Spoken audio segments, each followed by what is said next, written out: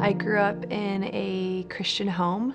It was a pretty happy childhood. I don't really have any complaints. We had a lot of fun as a family, and I, there's a lot of love in my home.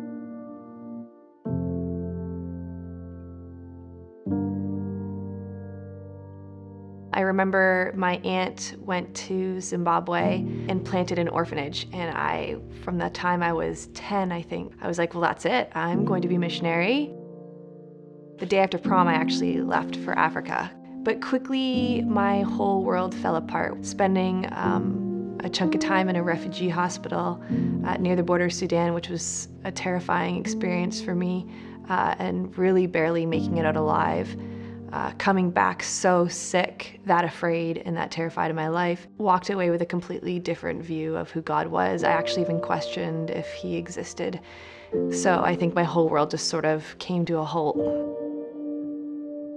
I ended up meeting my husband at the time and lived in Florida for quite a few years and even attended a, a big church and led worship there for a couple years and was really involved in our community. We had the house and the cars and the businesses and what people were seeing seemed fine. Being in church culture and not dealing with stuff that was just continued to be pushed under the carpet caused me to just want to give up and pull away. Our marriage wasn't doing well at all.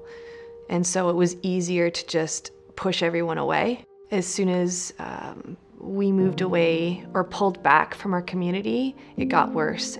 It was then that my marriage fell apart and my whole world again fell apart. And I lost everything. My house near the Gulf of Mexico and my business and my husband in my early 30s. So I felt like such a failure. Pretty much essentially um, severed all my relationships in, in Florida. And I didn't want to talk about it with anybody. I was so humiliated. But I had a choice. I was either going to sit there and not move, or I could start my life over. My family lived closer to Hamilton, and I wanted to start my life over somewhere fresh, somewhere new. So I remember hearing about C3 and going. I didn't know anyone, driving around the church like three or four times before I worked up the nerve to even walk in.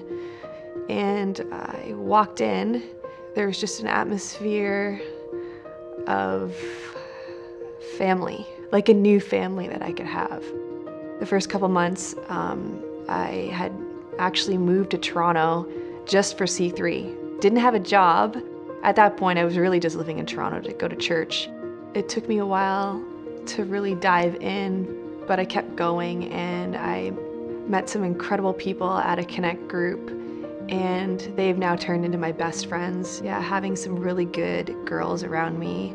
They just encourage me in li my life and in my dreams and my work, who seem to want to carry me even when I didn't want to keep going. Like they didn't let me go.